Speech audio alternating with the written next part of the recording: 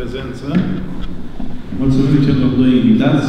Sper că a meritat așteptarea uh, și sper că uh, unii dintre noi vom uh, uh, explora acest univers care este acest om, care a scris atât de mult, dar care a fost un tip, uh, aș spune, limbajul copiilor, așa, un tip haios.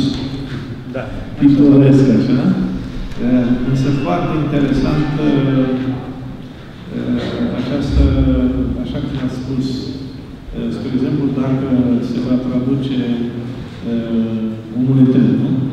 Omul Chiar că- etern uh, ar fi, ar fi foarte important. De ce? Pentru că dacă lui a, a fost convertit de această lucrare, de această operă, înseamnă că n-am citit, nu știu, așa. Ziceți că există totuși